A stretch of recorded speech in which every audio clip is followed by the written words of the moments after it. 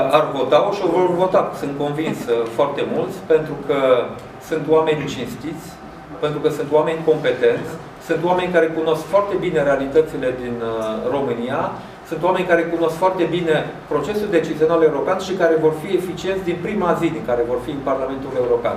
Sunt oameni care, dincolo de faptul că vorbesc limba română foarte corect, știu să vorbească și alte limbi străine care o să le permită să negocieze Uh, pentru uh, România în Parlamentul European și care vor ști să vină să explice apoi ceea ce au negociat uh, acolo.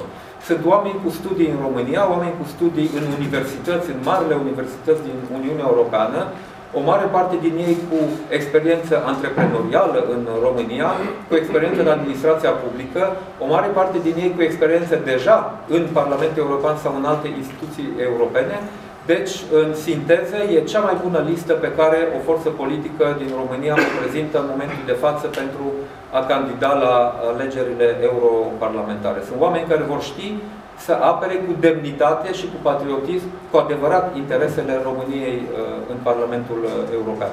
Nu poți să spui că mergi să aperi interesele României în Parlamentul European când tu vrei să izolezi și să depărtezi România de Uniunea Europeană, când tu ponegrești Uniunea Europeană, dar spui că o vei reprezenta acolo cu uh, patriotism. E o contradicție aici pe care nu o veți regăsi la noi. Veți candida la alegerile prezidențiale? Candidez la alegerile europarlamentare, o să câștigăm alegerile europarlamentare și apoi vom decide împreună cu colegii noștri care sunt pașii uh, următori. Dar fiți convinși, vom avea cei mai buni candidați și pentru alegerile prezidențiale și pentru alegerile locale și la fel pentru Parlamentul României. Și o ultimă întrebare.